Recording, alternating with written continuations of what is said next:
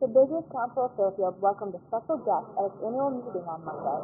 Business leaders and local legislators were on hand to this year's keynote speaker, Governor Dannel Malloy. I'm not sure we'll ever be a leading manufacturer of widgets uh, uh, again, um, but we will be the leading manufacturer of jet engines and helicopters and submarines and, and other high precision uh, tools. Malloy also announced the launch of his job tour, which he said will take place over the next few months. but we're going to go from business to business and have conversations with chambers of commerce, with big business organizations, with individual businesses that are represented within this organization to understand how we get out of the way to allow you to do what you do best, create jobs.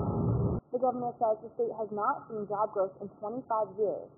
He says he will hold a session in the fall specifically to enact legislation to help Connecticut's businesses better compete with those in other states. So we're going to get this state going. Don't anybody bet against it. Now, we may be down.